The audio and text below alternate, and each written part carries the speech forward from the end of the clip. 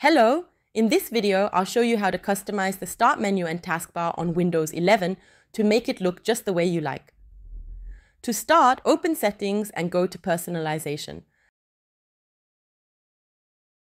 Now scroll down and click on Start menu. As you can see, my Start menu looks like this for now.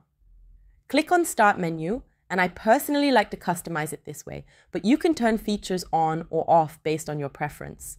Next, under Folders, I customize it like this to make access to important tools easier.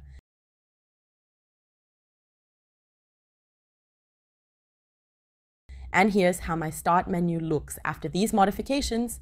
Now let's customize the taskbar. Simply right-click on the taskbar and select Taskbar Settings.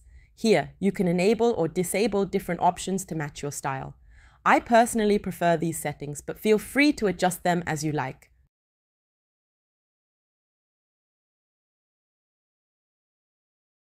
And that's it. Your Windows 11 Start menu and taskbar are now personalized Thanks for watching.